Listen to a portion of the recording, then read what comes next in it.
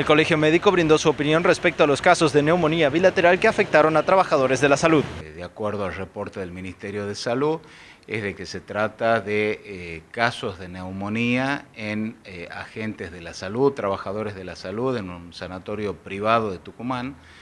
eh, en el cual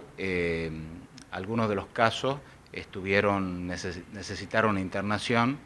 en unidad de cuidados intensivos, hubo un fallecimiento. Muchas veces la sensibilidad del método de diagnóstico eh, depende muchísimo, por un lado, del momento en el cual se efectúa la toma de muestra y por otro lado, de eh, que existen casos o pacientes que en realidad son medicados con antibióticos eh, previo a la toma de esa muestra. Eso a nosotros los médicos, e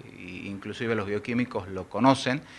modifica mucho la sensibilidad o el rescate en cuanto a las pruebas. Lo que comunicó el Ministerio es que ellos eh, preventivamente tomaron sus medidas, efectuaron todo lo que es la parte de la desinfección del,